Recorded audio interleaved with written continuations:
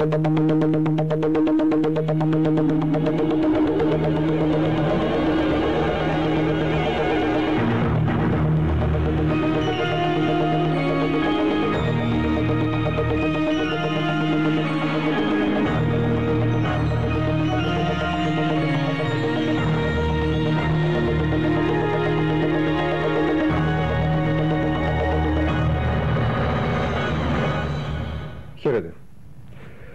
Σε αποτυχία οδηγήθηκε τελικά η διάσκεψη κορυφής της κοινότητας που έληξε το μεσημέρι στην Αθήνα μετά τις ε, διαφωνίες που διαπιστώθηκαν μετά από συνομιλίες τριών ημερών. Κύρια αιτία ήταν οι ουσιαστικές διαφωνίες ανάμεσα στις πλούσιες και τις φτωχές χώρες κοινότητας, στις χώρες του Βορρά και του Νότου, για τους στόχους και το μέλλον της ΕΟΚ. Η θέση των χωρών του Βορρά, κυρίως της Αγγλίας, αλλά και της Γερμανίας, για μια κοινότητα που θα λειτουργεί ως τελωνιακή ένωση περισσότερο. Και η επίμονη απέτησή τους για περιστολή των δαπανών, μείωση γενικά των δαπανών για τη γεωργία. Και όχι μόνο για τα γαλακτοκομικά, αλλά και η άρνησή τους να συνενέσουν στην αύξηση των εσόδων της κοινότητας στο απόλυτα αναγκαίο ποσοστό του 40% αφαίρεσαν κάθε δυνατότητα συνεννόησης με τις χώρες του Νότου. Η αιχμή του βέλους των χωρών του Βορρά ήταν η κυρία Θάτσερ, η οποία αρνήθηκε επίμονα να δεχθεί να μειώσει κατά 30 περίπου δισεκατομμύρια δραχμές τις απαιτήσεις της για επιστροφές από την κοινότητα, μπλοκάροντας έτσι τις συνομιλίες και οδηγώντας τη Σύνοδο σε αποτυχία παρά τις επίμονες προσπάθειες της Ελληνικής Προεδρίας που υπέβαλε αλλεπάλληλες συμβαστικές προτάσεις την τελευταία σήμερα το πρωί στις 9 μετά από ολονύκτια επεξεργασία. Τις προσπάθειες αυτές της Ελληνικής Προεδρίας αναγνώρισαν όλες οι πλευρές και εξέφρασαν την ικανοποίησή τους για την Ελληνική Προεδρία. Παρά την αποτυχία και οι δέκα ηγέτες αποφάσισαν να μεταφέρουν όλο το πακέτο των θεμάτων που εκκρεμούν στη Γαλλική Προεδρία, η οποία θα στηριχθεί στις προτάσεις της Ελληνικής Προεδρίας, όπως διαμορφώθηκαν μετά τις συνομιλίες των Αθηνών. Πάντως, η κρίση που σοβούσε από καιρό οξύνθηκε με την αποτυχία της Συνόδου, αλλά δεν κορυφώθηκε. Αν όμως αποτύχει και η Γαλλική Προεδρία, οι φόβοι για το μέλλον της κοινότητας θα πολλαπλασιαστούν. Όπως είπε ο Πρωθυπουργός Ανδρέας Παπανδρέου και Πρόεδρος του Συμβουλίου, αν η Γαλλική Προεδρία δεν κατορθώσει να δώσει απάντηση στα ζωτικά προβλήματα της Υπήρου, τότε το τέλος της κοινότητας θα είναι πλέον ορατό. Ο κ. Παπανδρέου, μιλώντας ως πρόεδρος του Συμβουλίου και παρουσιάζοντας στους δημοσιογράφους τα αποτελέσματά του, είπε ότι ήταν αρνητικά, δεν υπήρξε ομοφωνία σε κανένα από τα θέματα που αφορούν την οικονομική δραστηριότητα της κοινότητας, τόνισε ότι η διαφωνία αυτή πηγάζει από τα προβλήματα της διεθνούς οικονομικής κρίσης και κάλεσε τις χώρες μέλη της κοινότητας να πραγματοποιήσουν μια νέα διάσκεψη που θα οδηγήσει σε μια άλλη κοινότητα. Μια κοινότητα πέρα από την Τελωνιακή Ένωση και την κοινή αγροτική πολιτική. Η Ευρώπη των 10 ή των 12 αύριο με την ένταξη της Ισπανίας και της Πορτογαλίας, είπε ο Πρωθυπουργός, θα είναι μια Ευρώπη που θα ζει έντονα τα προβλήματα του Βορρά και του Νότου, γιατί πολλά από αυτά πηγάζουν ακριβώς από την πόλωση μεταξύ των πλουσίων και των φτωχών. Είχαμε την ελπίδα, συνέχισε ο κ. Παπανδρέου, ότι θα θεμελιώναμε μια άλλη Ευρώπη. Θα ξεκινούσαμε έναν άλλο δρόμο για μια Ευρώπη των λαών.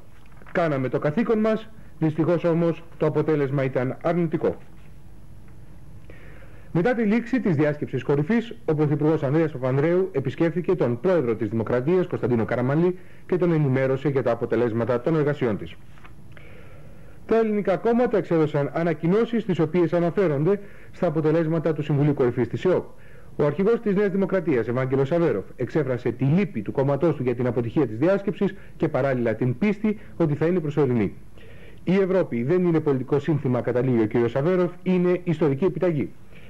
Η Κεντρική Επιτροπή του Κομμουνιστικού Κόμματος Ελλάδας σε ανακοίνωσή της τονίζει ότι το ναυάγιο της διάσκεψης επιβεβαιώνει με δραματικό τρόπο τη βαθιά και αξεπέραστη κρίση της κοινότητας. Αποδείχτηκε συνεχίζει η ανακοίνωση ότι τους μεγάλους της ΕΟΚ τους απασχολεί μόνο να εξασφαλίσουν τη μερίδα του λέοντος από τους κοινοτικούς πόρους για τα μονοπόλια τους. Ο πρόεδρος του Κοντισό, Γιάνγκος Πεσματζόγλου, σε δήλωσή του αναφέρει ότι για πρώτη φορά σύνοδος κορυφής της ΕΟΚ απέτυχε, αλλά αυτό τονίζει δεν σημαίνει τη διάλυση της κοινότητας, αλλά μια κρίσιμη καμπή για την εξέλιξή της. Ο πρόεδρος της ΕΔΑ, Ηλίας Ηλιού, σε δήλωσή του εκφράζει τη λύπη και τη διαμαρτυρία του κομματός του για την τακτική των χωρών του Ευρωπαϊκού Βορρά και ιδιαίτερα για τη στάση της Μεγάλης Βρετανίας. Ο Πρωθυπουργός Ανδρέας Παπανδρέου έφτασε το απόγευμα στις Βρυξέλλες για να πάρει μέρος με την ιδιότητά του του Υπουργού Εθνικής Αμήνης στη Σύνοδο των Υπουργών Αμήνης των χωρών μελών του ΝΑΤΟ. Από τη Βελική πρωτεύουσα μεταδίδει ο απεσταλμένος μας Γιώργος Τσαλάκος.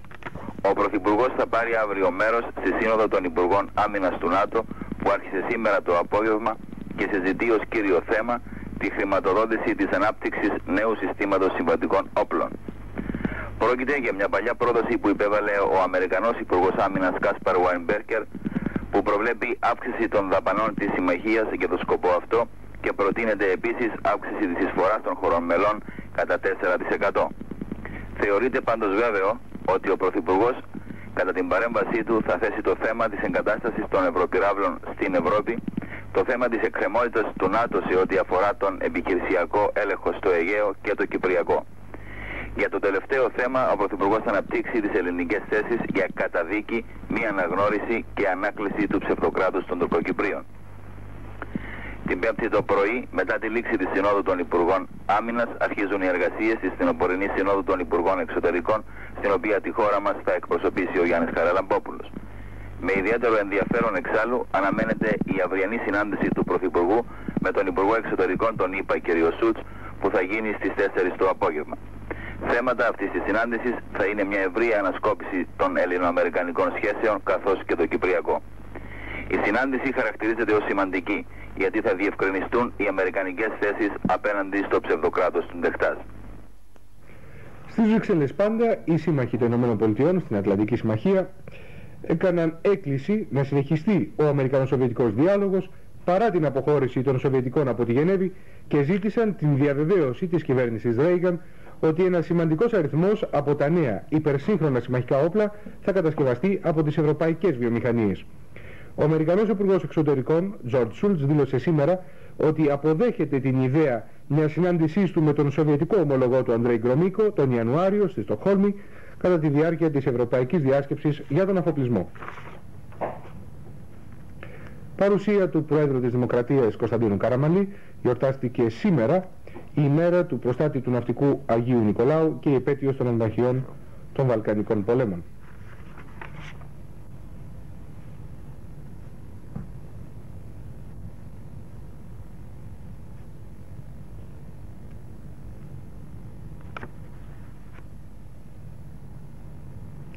Μετά από πρόσκληση του Προέδρου της Σοσιαλιστικής Δημοκρατίας της Ρουμανίας, Νικολάη Τσαουσέσκου, ο Πρωθυπουργός Ανδρέας Παπανδρέου θα πραγματοποιήσει φιλική, φιλική επίσκεψη στη χώρα αυτή στις 17 και 18 Δεκεμβρίου.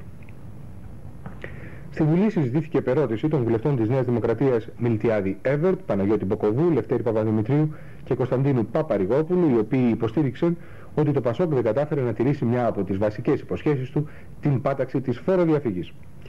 Απαντώντας, ο Υφυπουργός Οικονομικών Δημήτρης Πιτσιόρη υπογράμμισε ότι το φαινόμενο της φοροδιαφυγής είναι διεθνές και ότι η κυβέρνηση προσπαθεί να βρει τρόπους για την αντιμετώπιση του. Ο κ. Πιτσιόρη, αφού αναφέρθηκε στην φοροδιαφυγή στον τομέα των αυτοκινήτων, διαβεβαίωσε ότι ετοιμάζει μελέτη για το θέμα. Ο Υπουργός Παιδείας Κυβερνήσεως Αγαμένων Κουτσόγιοργα ανακοίνωσε ότι με απόφαση του Υπουργικού Συμβουλίου παρατείνονται οι συμβάσεις ορισμένου χρόνου του προσωπικού που συνδέεται με σχέση ιδιωτικού δικαίου στο δημόσιο για έξι μήνες ως το τέλος Ιουνίου 1984. Φλιβερό δείγμα χαρακτήρισε ο Υπουργός Δικαιοσύνης Γεώργιος Αλέξανδρος Μαγκάκης τις υπόνοιες που διατύπωσε η Νέα Δημοκρατία για ευνηδιαστική κλήρωση των διαφόρων τμήματων του Ανωτάτου Δικαστικού Συμβουλίου και των Πειθαρχικών Συμβουλίων. Ο κ. Μαγκάκης είπε ότι η Νέα Δημοκρατία όφιλε να γνωρίζει ότι την ημερομηνία των πληρώσεων ορίζει ο νόμος και ότι ρητά ορίζεται πως την κλήρωση διενεργεί ο πρόεδρος του Αριού Πάγου. Αναχωρεί αύριο για τις Βρυξέλλες ο Υπουργός Εργασίας Ευάγγελος Γιαννόπουλος προκειμένου να προεδρεύσει την Πέμπτη στη Σύνοδο του Συμβουλίου των Υπουργών Εργασίας και Κοινωνικών Υποθέσεων της Κοινότητας. Με απόφαση που υπέγραψε ο Υφυπουργός Εμπορίου, Θόδωρος Πάγκαλο, αυξάνονται από την 1η Ιανουαρίου 1984 τα κατώτατα όρια υποχρεωτικής ασφάλισης των αυτοκινήτων. Συγκεκριμένα, η ασφαλιστική κάλυψη για ελληνικές ζημίε αυξάνεται από 200 σε 500.000 δραχμές και για σωματικές βλάβες από 400.000 σε 1,5 εκατομμύριο. Αντίστοιχα, αυξάνονται και τα ασφάλιστρα και καθορίζονται για όλα τα ιδιωτικής χρήσης αυτοκίνητα μέχρι 15 ύπου σε 6.551 δράχμες το χρόνο. Όπως δήλωσε ο κ. Πάγκαλος, τα αυξημένα ασφάλιστρα θα καταβληθούν με την ανανέωση των συμβουλέων ανεξάρτητα αν αυτά λήγουν με την 1η Ιανουαρίου. Αύριο είναι η τελευταία ημέρα υποβολής αιτήσεων των υποψηφίων για πρόληψη στο δημόσιο και τους οργανισμούς. Η Νομαρχία Αττικής και τα διαμερίσματα της Νομαρχίας θα δέχονται αιτήσεις αύριο από τις 8 το πρωί ως τις 8 το βράδυ. Όπως ανακοίνωσε ο προϊστάμενος του Πρωτοδικείου Αθηνών, οι δικηγόροι και οι διάδικοι πρέπει ως τις 31 Ιανουαρίου 1984 να παραλάβουν από το Πρωτοδικείο Αθηνών τα έγγραφά τους που αφορούν και το έτος 1982 σχετικά με τις πολιτικές και ποινικές υποθέσεις, γιατί μετά την ημερομηνία αυτή θα καταστραφούν όπως ορίζει ο νόμος. Σε 24 ώρη πανελλαδική απεργία καλή για αύριο τα μέλη της Ομοσπονδία Οικοδομών Οικοδόμων και Συναφών Επαγγελμάτων Ελλάδας ένδειξε δύο μαρτυρίες για τη μη χορήγηση του 29ου βοηθήματος πριν από τις γιορτές με βελτιωμένες προποθέσει. Στο Λίβανο, οι Αμερικανοί πεζοναύτες έπληξαν με ρουκετές θέσεις των Δρούσων μουσουλμάνων ανατολικά του Διεθνούς Αεροδρομίου της Βηρητού σε μια προσπάθειά τους να, κάνουν, να συγγύσουν τα πυρά των οπαδών του Ουαλίτ Τζουμπλάτ. Συριακές αρχές ανακοίνωσαν την κατάρριψη δύο Ισραηλινών αεροπλάνων στην κοιλάδα Μπεκά, αλλά το Ισραήλ απαραδέχτηκε την κατάρριψη μόνο του ενός που δεν είχε πιλότο. Στην Ιερουσαλήμ, βόμβα από εξεράγει σε στρατιωτικό λεωφορείο προκάλεσε το θάνατο 4 ατόμων και τον τραυματισμό 46. Την ευθύνη για την έκρηξη ανέλαβε η οργάνωση για την απελευθέρωση της Παλαιστίνης. Στην Τρίπολη του Βορείου Λιβάνου έγιναν χθες τη νύχτα σφοδρές συγκρούσεις μεταξύ Λιβανέζων μουσουλμάνων, συμμάχων του Γιασέρ Ραφάτ και δυνάμεων του Συριακού στρατού. Τέλος έγινε γνωστό ότι ο Παλαιστίνιος ηγέτης Γιασέρ Ραφάτ ναύλωσε πέντε ελληνικά πλοία για να μεταφέρουν τον ίδιο και τις 4.000 περίπου άνδρους του μακριά από τον Βόρειο Λίβανο προς την Τινησία και τη Βόρειο Ιεμένη. Πέθανε σήμερα σε ηλικία 88 ετών ο Ιταλός γερουσιαστής Ουμπέρτο Τερατσίνη, ιδρυτής του Ιταλικού Κομμουνιστικού Κόμματος και τελευταίος επιζών σύντροφος του Γκράμτσι. Φυλακίστηκε από το φασιστικό καθεστώς του Μουσολίνη από το 1928 ως το 1943 και ως πρόεδρος της πρώτης μεταπολεμικής Ιταλικής Συντακτικής Εθνοσυνέλευσης υπέγραψε το νέο Σύνταγμα της Ιταλικής Δημοκρατίας το 1947. Πέθανε επίσης σήμερα, σε ηλικία 65 ετών, ο σκηνοθέτης Ρόμπερτ Όλτριτς, ένας από τους μεγαλύτερους του Αμερικανικού κινηματογράφου στην αρχή της καριέρας του, βοηθός του Τσάρλι Τσάπλιν, του Όρσον Βέλλε και του Ζαν Ρενουάρ. Ο Όλτριτ γύρισε από τα μέσα της δεκαετίας του 50 μέχρι πρόσφατα 30 ταινίες, πολλές από τις οποίες χαρακτηρίστηκαν αφετηρίες για τη νέα στροφή του Αμερικανικού κινηματογράφου προς το ρεαλισμό. Μισούσε το λεγόμενο Hollywood System και ερχόταν σε ρήξη με όλους τους κανόνες του παιχνιδιού. Λόγω των εορτών, αναστέλλονται από τις 19 Δεκεμβρίου το μέτρο της εκπεριτροπής κυκλοφορίας των ιδιωτικής χρήσης αυτοκινήτων στο κέντρο της Αθήνας. Ο δακτύλιος θα ισχύσει και πάλι από τις 15 Ιανουαρίου. Μετά το δελτίο ειδήσεων των 9 αύριο θα μεταδοθούν από την ΕΡΤ 1 αποσπάσματα της ομιλίας του πρόεδρου του Κοντισό Γιάκου Πεσματζόγλου που έγινε την Κυριακή στη Δράμα. Και να κλείσουμε το δελτίο μας με την πρόγνωση του καιρού από τον μετεωρολόγο Ανδρέα Λαζάνη. Νέα μεταβολή του καιρού θα έχουμε σήμερα από το μεσημέρι και μετά στη Δυτική και Βόρεια Ελλάδα όπου θα συνεφιάσει και θα βρέξει ενώ θα χιονίσει στα ορεινά της Υπήρου και της Μακεδονίας. Αναλυτικά σήμερα λοιπόν στην αρχή της ημέρας θα έχουμε στην Ανατολική Νησιωτική χώρα συννεφιά με τοπικές βροχές ή και καταιγίδες, αλλά ο καιρός εκεί θα βελτιωθεί. Ενώ στην υπόλοιπη Ελλάδα θα έχουμε μόνο λίγες τοπικές συννεφιές και ομίχλες το πρωί στα υπηρετικά.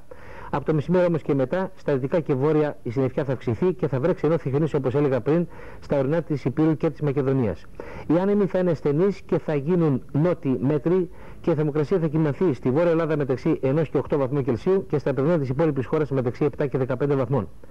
Στην περιοχή της Αττικής θα έχουμε λίγη συννεφιά που προς το βράδυ θα αυξηθεί και τη νύχτα θα βρέξει. Οι άνεμοι θα είναι στενεί και η θερμοκρασία θα κοιμαθεί στην πόλη μεταξύ 6 και 14 βαθμών Κελσίου.